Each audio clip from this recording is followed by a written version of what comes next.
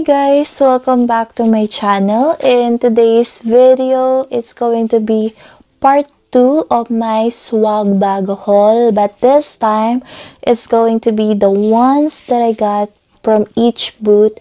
So fucking done with all the games you play. I hate your for Saturday and Sunday Generation Beauty at Los Angeles Convention Center 2018. Mas Marami to compare sa swag bag. Medyo pinaghirapan ko to.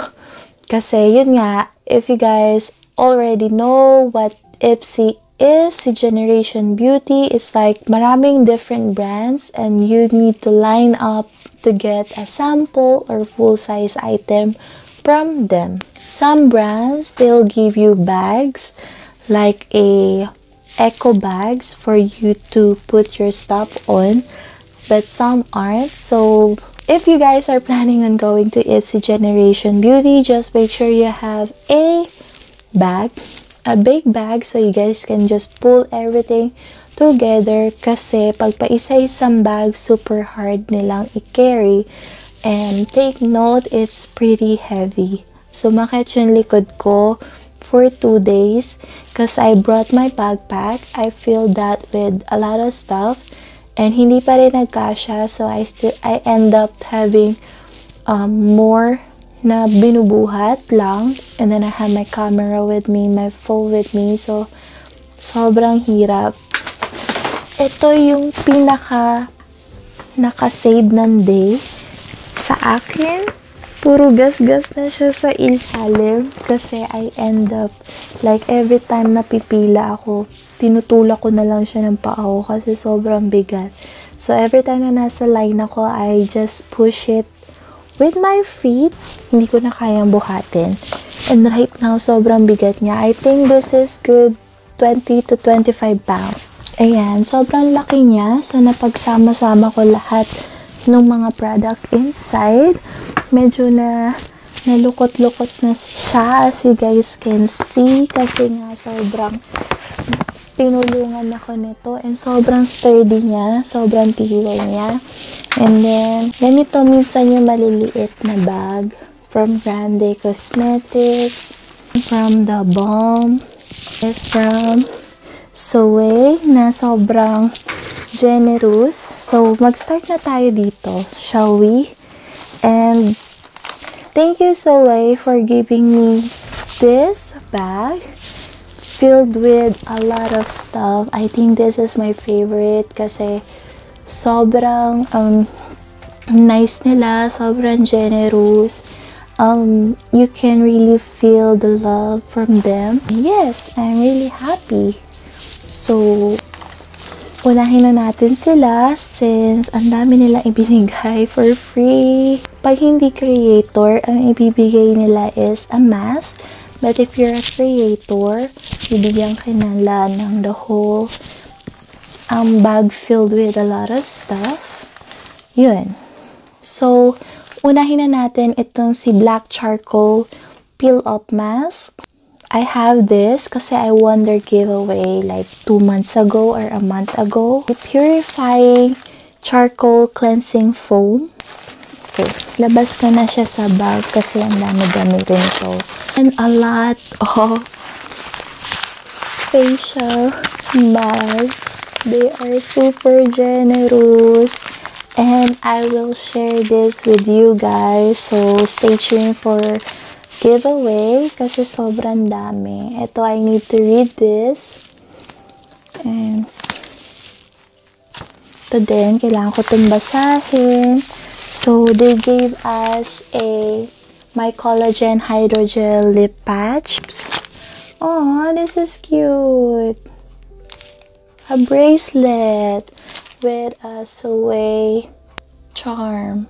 That's really cute. Thank you, Soe. I hope I'm pronouncing it right. This is Black Charcoal Hydrogel Mask. This is Donkey Milk Sleeping Mask. This is Panda Eye Brightening Mask. This is, ooh, I need this. Look ko, kitang-kita yung double chin ko. V-Line Chin Up Mask. Ooh, Juicy Strawberry Glow Mask. Charcoal. What's? Minahalong the creme shop. Siguro, body-body sila. Charcoal Almond Fusion Sheet Mask. Charcoal Clay Bubble Mask. Donkey Milk Skin Gel Mask. Purifying Brightening Peeling Gel. T3 Clear Spot Dot. I need this dito oh. Purifying Black Charcoal Mask. Black Charcoal Bubble Sheet Mask. Ooh, ito yung nakikita ko. Hindi ko pa ito na-try. Yung mask, tapos bubula-bula. Honey Cream Bubble Mask. Another bubble mask. Acai Berry Revitalizing Sleeping Mask. Oh, another. Another bracelet with a charm.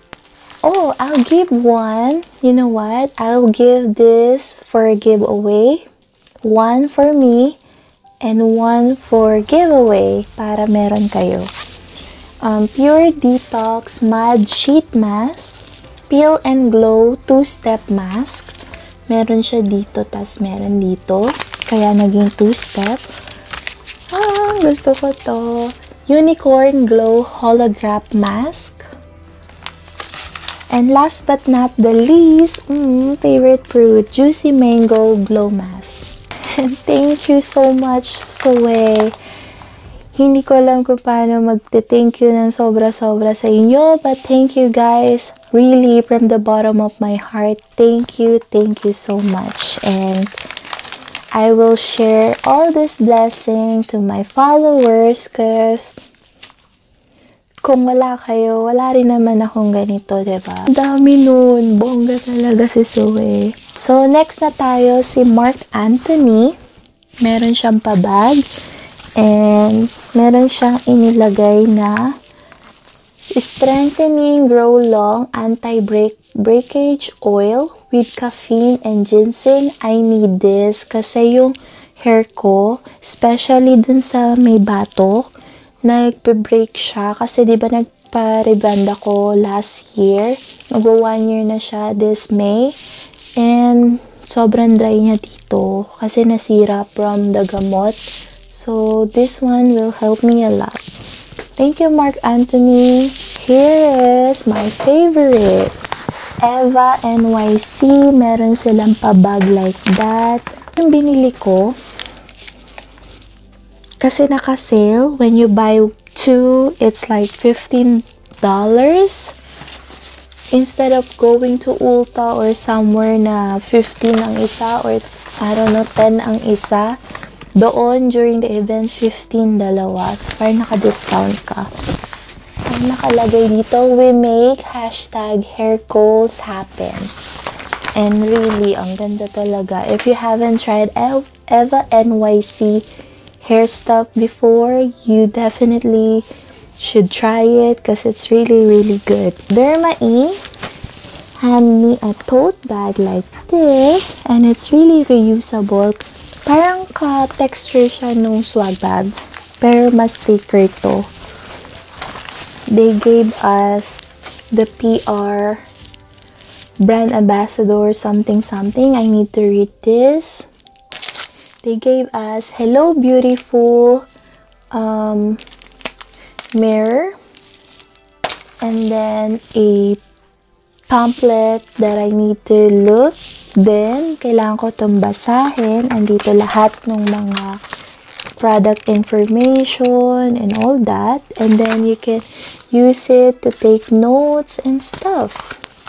And then, this, um, Derma E Essential Sun Protection Mineral Powder SPF 30. Thank you, Derma E. I'm excited to use this because this one has SPF 30. Thank you, Derma E. Kay The Balm. Um, kay The Balm, yung pinapamigay nila is etong single eyeshadow. Ang cute niya. First ever The Balm product ko to. And para siyang book. Ganito yung itsura niya. They have 50% off. So, bumili ako nitong popular na bronzer, si Bahama Mama na bronzer.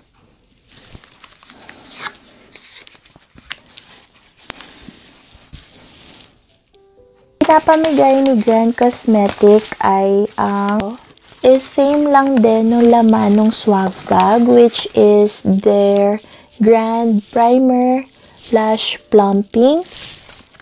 And then I bought a new Grand Lips Hydrating Lip Plumper in the shade Lust Red kasi nagustuhan ko tong Grand na lip plumper from my BoxyCharm ba yun? Like, two months ago. And pink yun. So, okay lang din naman. Pero bumili ako ng red. And then, naghulog ako ng business card sa bowl. Kasi may pag-giveaway din sila. Bago matapos event, may tumawag sa akin kasi uh, they contact me through my Instagram kasi diba sa business card ko meron akong Instagram details doon. And then they told me that I won so I ran doon sa booth nila kasi kung hindi ako makapunta, baka pumili sila ng bagong winner. So, ayun nga, nanalo ako and then the owner asked me like, just pick whatever you want sa table and I picked the expensive one kasi tinanong ko lahat-lahat. Bago ako bumili nung lip plumper, tinanong ko yung isa kung magkano yun ang mahal-mahal. So, gusto ko yun pero hindi ko kayang bilhin.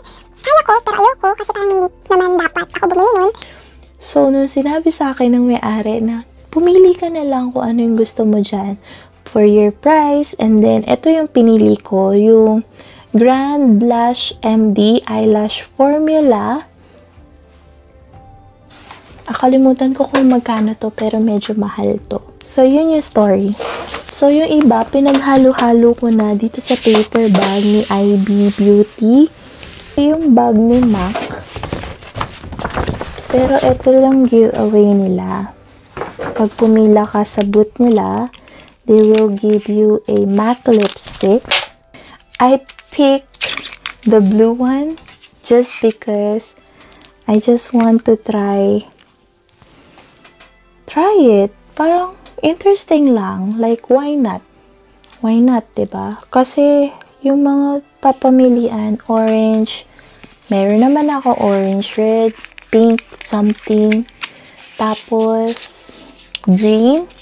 And sabi ko, parang kaya ko ipaglaban si blue. So, why not? And then, first time kong magkaroon ng blue lipstick and it's MAC. So, okay lang.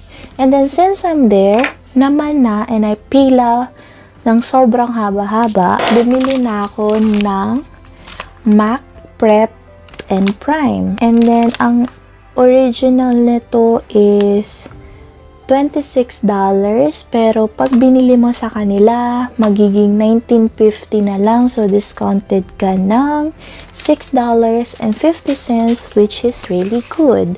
And then never tried this before. And I just picked the original one. So yeah dito na tayo sa mabigat. I still have 11 minutes So, bilisan na lang natin siguro. Ito naman is yung uh, match yung shade ko, color match ng Lancome and I'm in 320 Bist. I told her that I oxidize a lot and it looks yellow when I put it on my face but I hope it's not too yellow. It is from the brand I think Bella Pierre as well, yes. This is a makeup base. From Nature Lab, a blowout jelly. And this is from the brand Trestique. And ito nga palang Briogeo, hinaluan ito ng vitamin E. Kasi you can pick kung anong gusto mong ihalo and I pick vitamin E, meron doon aloe vera, meron doon kung ano-ano and then I just pick vitamin E. Um, Lancome, bibigyan kayo nito ng parang ilalagay mo sa damit mo na ganun na nakalagay is 320 yung shade. So, Perlis gave us a full size Perlis. Is their moisturizer, 50 ml. Briogeo Deep Conditioning Mask.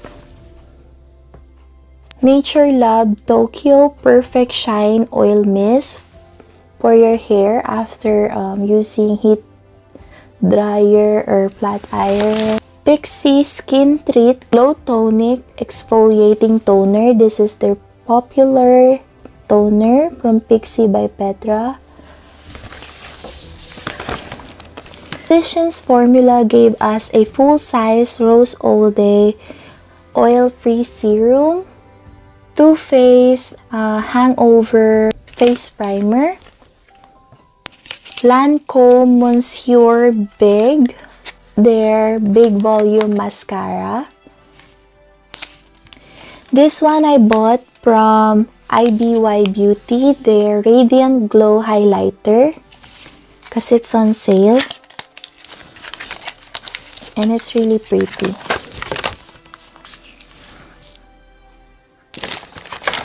This one, I'm super duper happy. Sa Maybelline, they gave us a full size, the Burgundy Bar. Essence Shape and Shadow Eye Contouring Palette. Moda Pro Makeup Brush Complexion.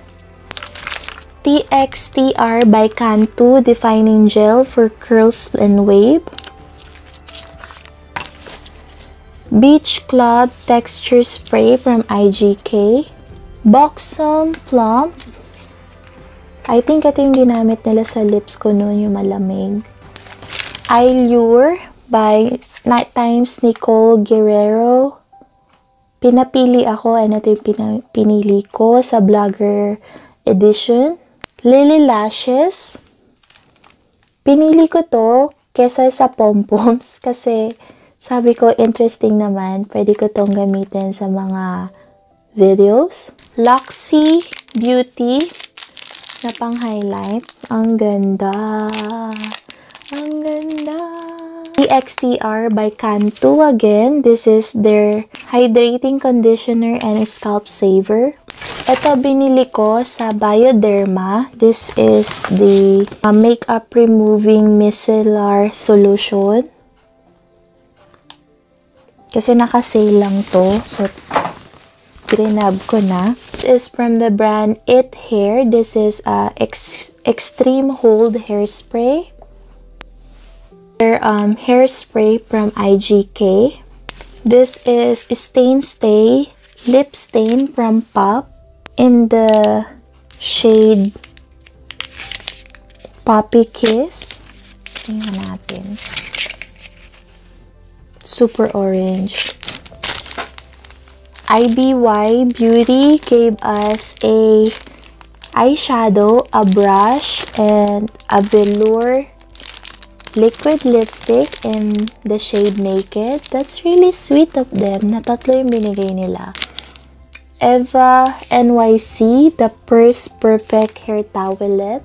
This is a perfect repair treatment mask from the brand Nature Lab Tokyo. From the brand Pixie by Petra, it's a lip gloss in the shade Honey Sheen.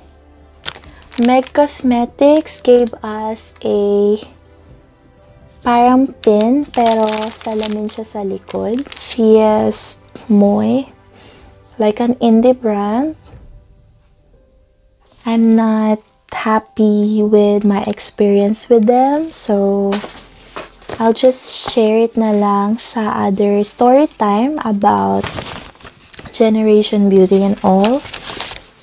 Um, this is the double action eye makeup remover from Lancome. Ito yung nag-spin ako at ito yung nakuha ko. Koki Cosmetics gave us a liquid lipstick in, a, in the shade Kissable.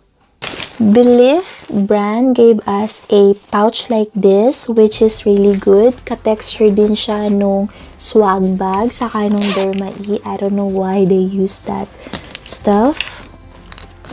So, meron kasama to moisturizing eye balm. Hungarian water essence, same as the one na nandun sa swag bag. And then, Witch Hazel Herbal Extract Toner. Thank you, Belief. This one is from Fat Boy Styling Cream. Ang laki ng binigay nila. Maybe my dad can use this. Or JJ. Per Cosmetics gave us a highlight, I mean, eyeshadow topper in the shade Romantic and Visionary. Bella Pierre gave us a brow gel. Meg Cosmetic gave us a two-step jelly mask, calming and pore care.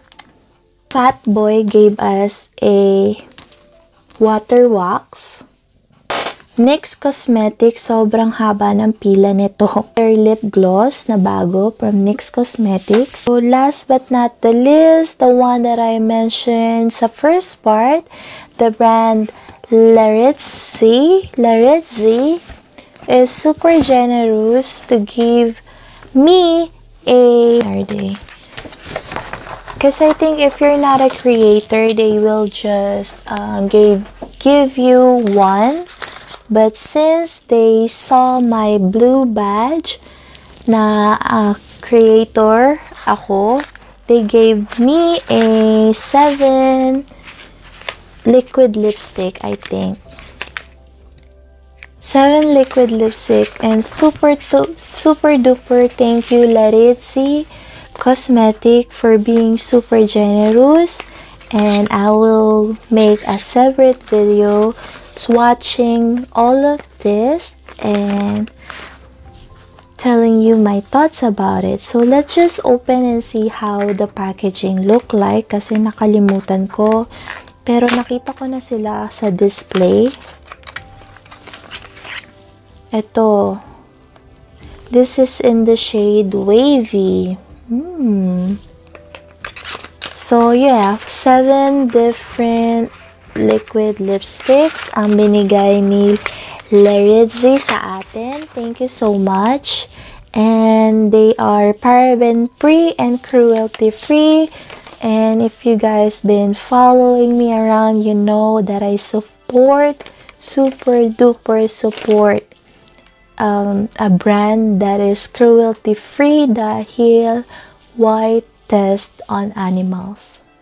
Walang ginagawang masama sa atin ng mga animals. Mahalin natin sila dahil minamahal din naman nila tayong mga tao. And yes, yun lang. And medyo mahaba na to, so I will end it here. I hope you guys like it and if you do, please kindly give it a thumbs up. And if you're new to my channel, please don't forget to subscribe, like, and comment down below so we stay connected and check the description box for more information, for more discount codes and my links to my Instagram, Facebook, and Twitter will be down in the description box as well. And yes, thank you for watching. And I will be doing a part 3 where we or I am gonna talk about my experience about Ipsy Generation Beauty this year. It's my first time, how I like it, nag-enjoy ba ako, na-disappoint ba ako, any tips and tricks, and yeah. By the way, I won this shirt nga pala. I'm not really sure if they are selling this at Generation Beauty, but yes, I won this under um, scavenger hunt. I won second runner up. And I'm not really sure what the first runner up got. Pero second runner up, I won this shirt and then one year free subscription box sa Ipsy. And sobrang laki nun, like $120 savings ko. Yun. So yes, that is for today's video. I'll see you in my next one. Bye!